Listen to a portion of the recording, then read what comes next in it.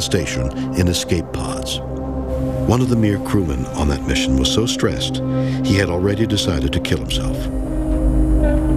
One of the cosmonauts, actually, uh, Lazutkin, told me that on the 10th days, he decided to commit suicide because he couldn't stand it already. He went to a remote place in one of the modules, and before uh, suicide, he decided to sleep. The cosmonaut woke up and chose to live. On the journey to Mars, the fear of death will be a constant companion. From liftoff to splashdown, there are many ways to die. They will need to find a new breed of astronaut with better coping skills and different personalities. And they will all have to pull together as a team unlike any other crew in history. Their lives will depend on it. Sergei Volkov and Roman Romanenko, the cosmonauts chosen by Russia to go to Mars, must learn how to trust each other in a survival situation. Вы должны прийти к цели вместе, никто не должен We start together and we should finish together, maintaining the best possible psychological microclimate in the team. Микроклимат, психологическая обстановка должна сохраниться.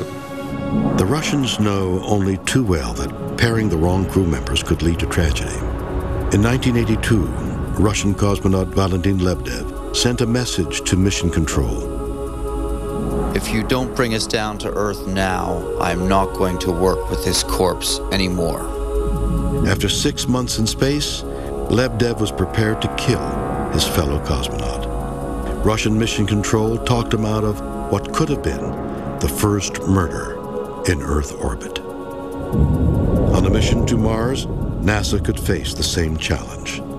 Since 1999, NASA astronauts have trained at the National Outdoors Leadership School in Wyoming.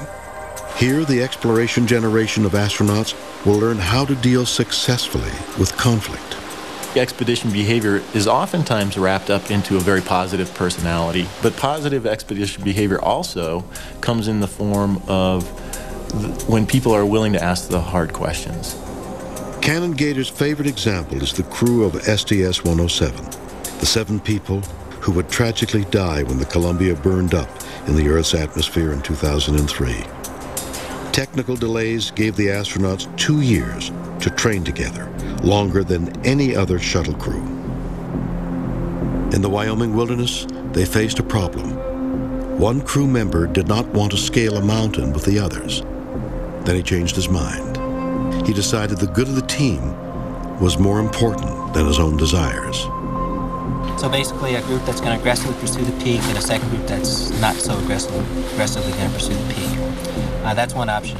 The uh, other option is if we all just stay together as a group of seven and uh, do the best we can. You know, go for the peak. Here's a great example of positive expedition behavior shown by Mike Anderson, who said, I don't really want to climb, but for the team, I will. Cannon Gator and his team have identified four personality types that would be ideal for a journey to Mars.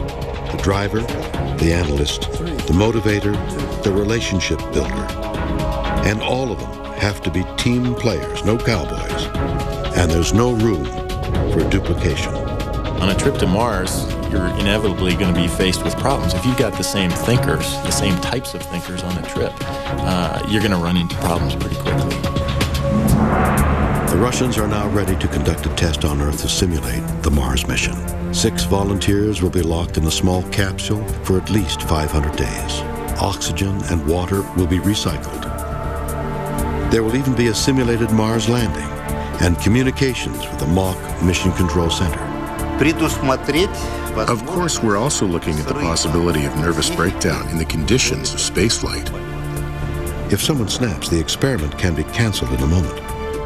There will be no such luxury in a spaceship, especially now as they face the most demanding and dangerous moment of their journey. About six months after leaving Earth, the exploration astronauts face the deadliest part of the entire mission penetrating the Martian atmosphere and landing on the red planet. To get a probe onto the surface of Mars is very challenging. We're batting about 500, roughly speaking, about 50 50. getting a human onto the surface won't be any less difficult. The crew has done everything they can to stay mentally and physically alert. They've trained and exercised. But they've also lived through radiation, weightlessness, and the psychological pressure cooker of isolation and confinement. And now, the moment of truth. You simply want to survive. Of course, it is nerve wracking to face the uncertainty whether everything will function well, whether you will live. Going from Mars orbit to the surface has been called the six minutes of terror. On the surface, there will be no waiting rescue crew, no medical team. If you've got astronauts who are not in the peak of condition, then you may have an unsuccessful mission right at the very end where they need to be, you know, at their prime. To solve the psychological risks of the Man-Mars mission, some discoveries still need to be made on Earth. In 2006, NASA conducted an 18-day experiment in its undersea lab called NEMO. 15 meters long, just 4 meters across, Nemo is an underwater analogy for the Mars craft. For this mission, NASA installed cameras and microphones to observe stress levels in the crew. This data was fed to Mission Control for real-time observation. The computers are an early warning system for mental crisis, triggering treatment for a stressed-out astronaut, or in the worst-case scenario, restrainment. As the NEMO project pushes forward, NASA seeks crews which come equipped with their own problem-solving skills. Unlike Apollo 13, there will be no Houston to instantaneously deal with deadly problems. I'll get my turn in the driver's seat. NASA is also experimenting with artificial intelligence as companions for the mission to Mars. Uh, continues to challenge Rick.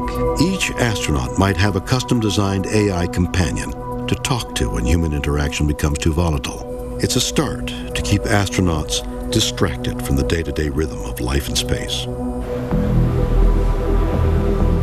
Finally, experts in both Russia and the United States are looking for ways to pinpoint the ultimate crew for the exploration generation.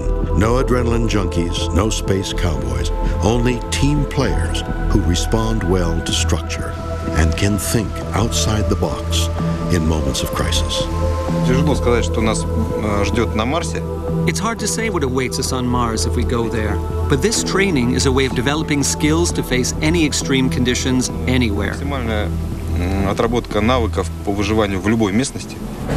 Mission planners, ground control, and billions of people on Earth will wait anxiously to see if the first humans to travel to Mars will make it safely to the surface. 25 meters. Will they successfully push their way through the six minutes of terror, or will they perish unseen millions of kilometers?